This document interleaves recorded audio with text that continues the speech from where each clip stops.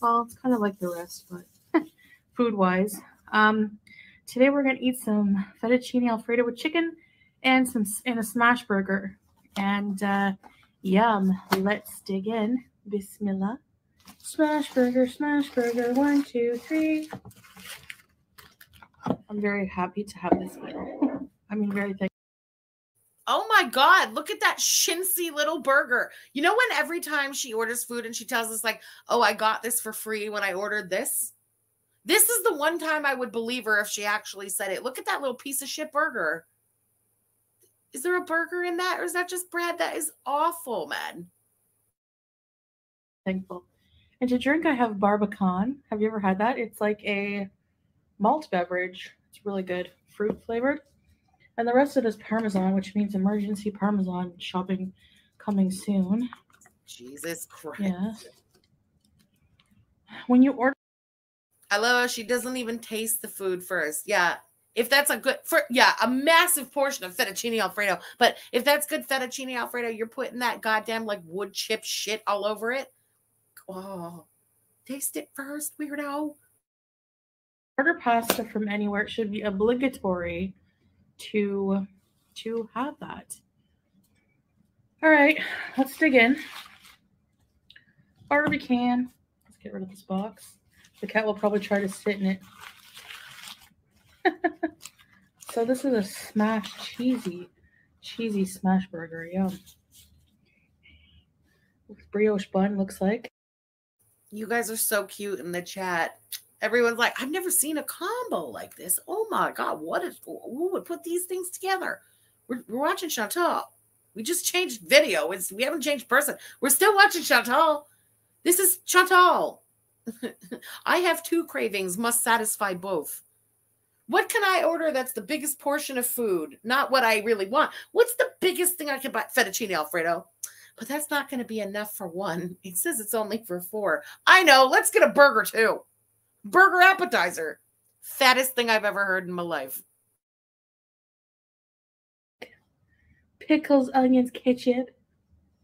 Double patty. Beauty bite.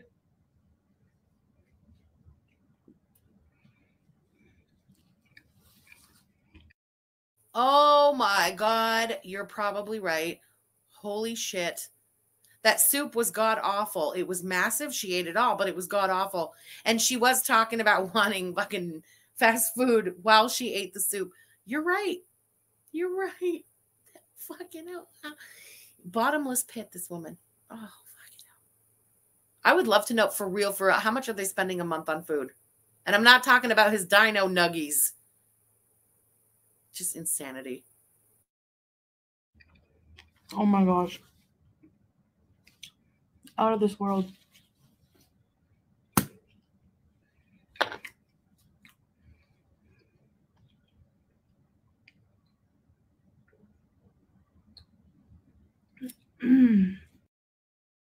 Interesting. This is maybe petty, but I'm going to note it anyway. Notice how every single time we've seen her drink like a barbican or any other drink, pretty much, she puts it in a glass. Unless it's that Coke, the two liter the other day she was swigging. Do you think that was done on purpose? Because, like, if you didn't know, that looks like a bottle of beer. And for the shock value of the hijabi woman swigging on a beer, do you think that she did that on purpose and left it in the bottle? I wouldn't put that past her. Anything for views. I think strawberry. Yeah. Anywho. So, guys, this looks like more like pappardelle than fettuccine. There's broccoli, chicken, mushroom. And speaking of mushrooms, I thought I would talk to you guys about this um, case that I came upon on TikTok. I follow a lot of true crime on there. I don't know, it's just the strangest case, but very tragic. So, like any cases I discuss on my channel going forward uh, as well, because I haven't really done many cases yet, but I plan on doing more videos like this. If you enjoy them, um, my heart really just goes out to the victims in all of this because at the end of the day, it is a tragedy and lives were lost. There is this case that happened July 29th in the rural town of Leongatha, Leongatha in um, Australia.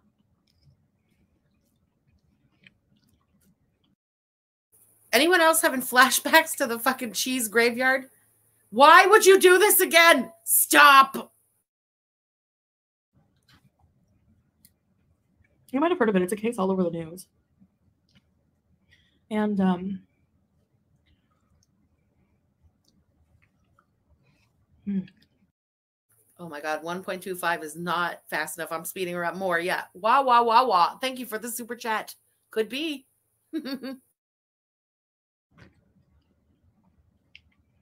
so good. I can't even tell they actually use a light cream sauce in it, apparently.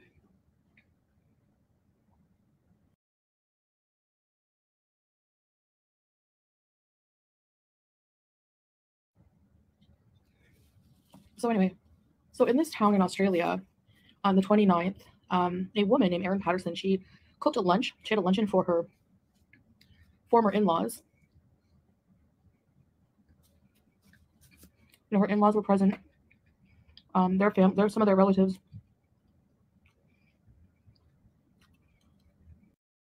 Oh my god, my unmute wouldn't work. Okay, this is going back to when I tried to fucking pause and speak before it wouldn't work. I couldn't speak. My computer hates me. Uh, what the fuck?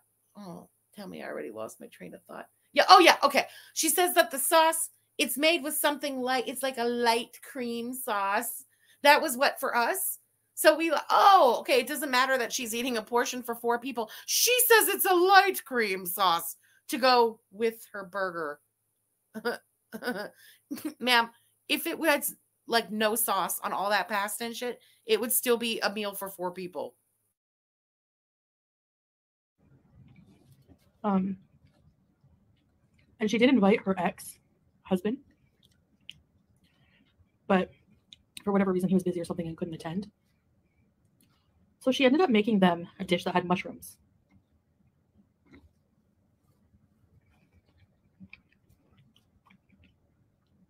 Nothing tasted out of the ordinary. But then several hours later, the relatives became very ill with flu like symptoms, nausea, getting sick, whatnot.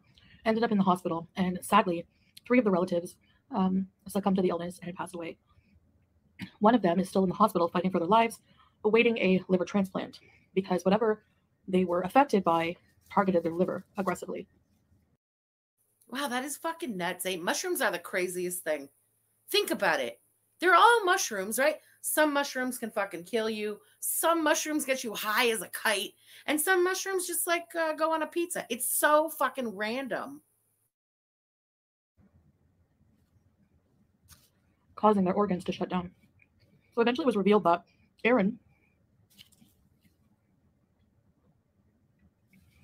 had prepared a dish made from possible death cap mushrooms.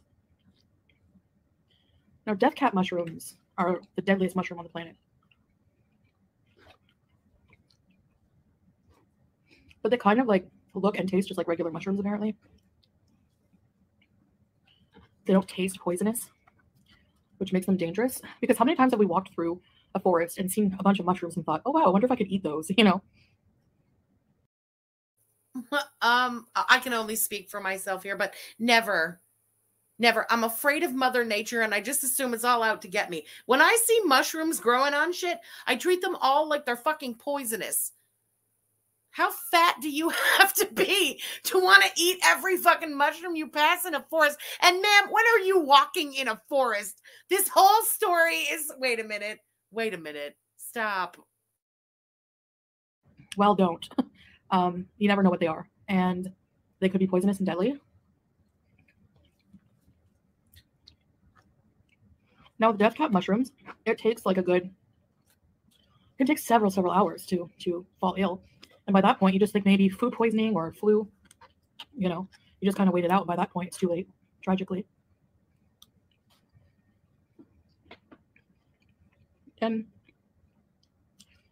so she's actually a suspect right now because there's an investigation going on and the plot thickens because the ex-husband reported that last year he had fallen ill himself and ended up in the hospital for a long time with a very um, mystery kind of gastro illness.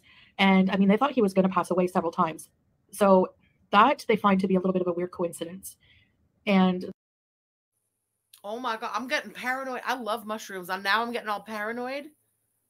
I've also smoked, so maybe the paranoia is heightened tonight. But uh, now I'm thinking in my head, oh my god, I'm never eating mushrooms outside of my house again. Never, never, never. I will make my own goddamn mushrooms. Then I know what mushrooms I am eating.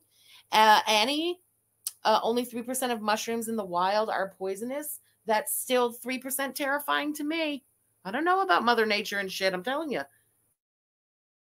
The fact that the in laws were targeted in this case, in this poisoning, is something a bit suspect and something to take seriously, not just ignore.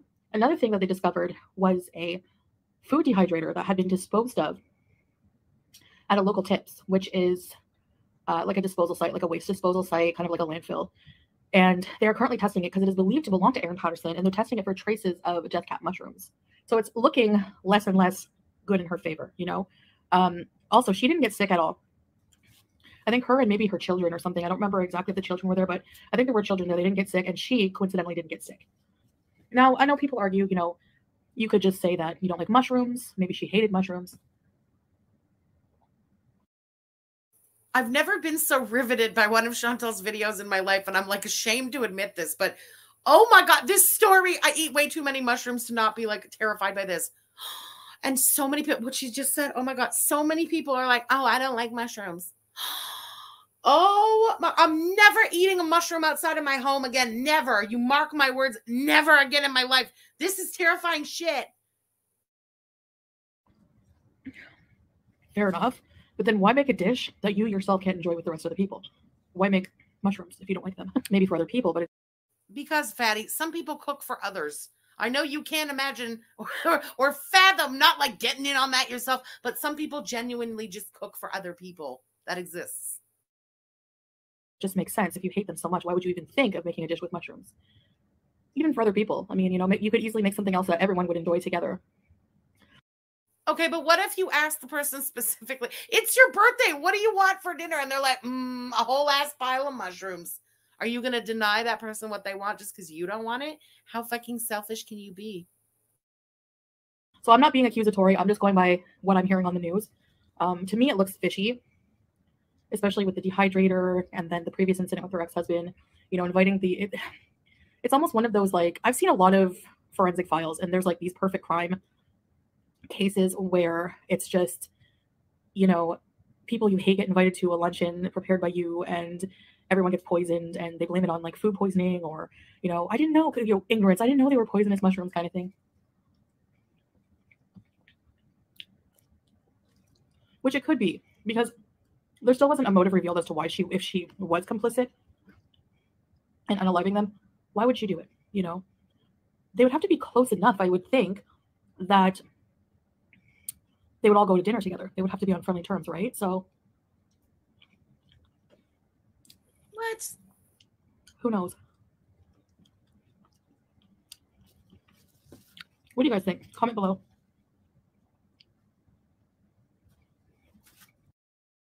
Here's my comment. You got to learn how to take bites while telling a story. There's timing to all of this. Watch other people mukbang and tell stories and learn, like, oh, that's where I'm supposed to take my bite. Oh, that's where I'm supposed to take a sip of my drink. It's so, it's kind of hard to follow along these fucking broken ass sentences.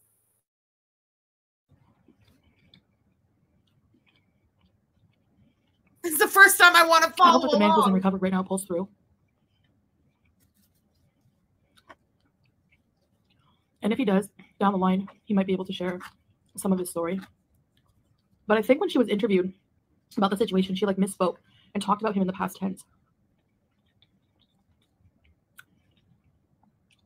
Which investigators did catch that slip up.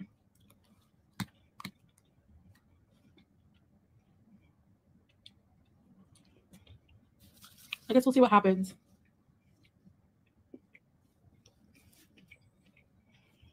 Either way, very tragic. And honestly, it was eye opening for me this case because, like I said, you go walk for walks in forest you can think, I wonder if those mushrooms are edible, just like mushrooms in the store. Too many fucking bites. No, it, you know, and it's more than just like the bites and how rapidly she takes the goddamn bites during a sentence. There's a weird like cadence to the way she speaks. Even when there's no bite, she takes these weird pauses right in the middle of a sentence.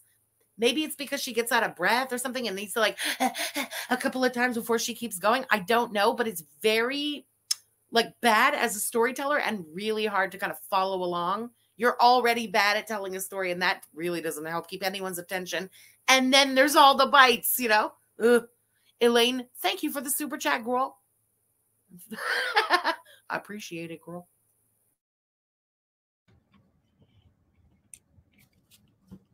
They should probably put a sign if there are, you know, if it is a region where they grow a lot of death caps, or where, sorry, I should say a lot of death caps grow, they should maybe warn people and say, you know, if you see any mush- wild mushrooms, do not pick them, do not eat them, leave them alone.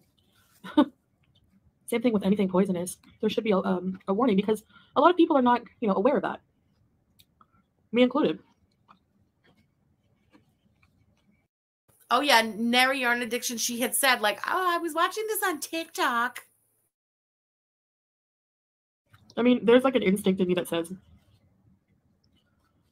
you know, don't eat it, which is I'm thankful for that. But anyway, um, it, it, the people eating the food probably didn't even know that they were picked like death caps. They would not be able to tell just from taste, apparently. But well, of course they didn't know, you fucking idiot. Do you think they would have eaten the death caps if they bit into the first one and went, "Oh, that tastes like a death cap"? What a stupid comment. If this victim comes to and survives the ordeal, he'll definitely be able to give more details. I did hear in one news report that she first claimed that she got them from a market. So, and then her story changed. So there's just a lot of things that make her look suspicious.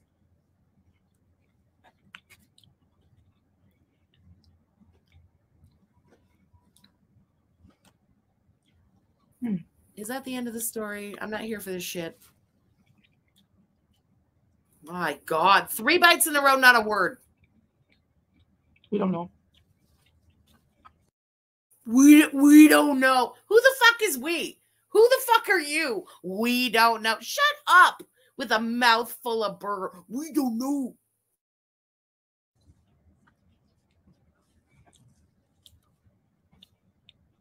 Detective so right now, the case. She's just a suspect while we investigate more. Because, you know, that's how the law works, right? You can't just be arrested instantly. There has to be an investigation that takes place. She's like, unfortunately, I found that out when I went to the police station and filed a false police report against Koki. And I thought they were going to go and arrest him right away. And they were like, no, madame, we have to do investigation first. Where's your breathing machine? Uh, extra toe, floppy tits, Pondu. Thank you for the super chat.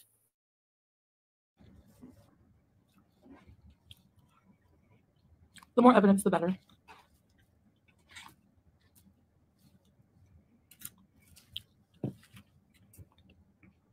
That was a very good Alfredo. And the burger is really delicious. I think smash burgers are my favorite form of burger.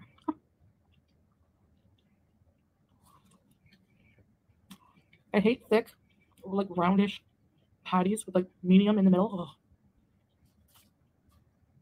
Mm-mm.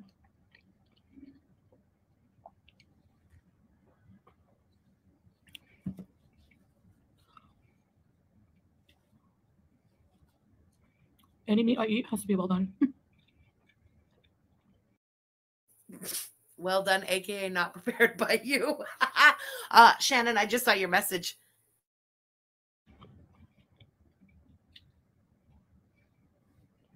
So this drink, I forgot to explain.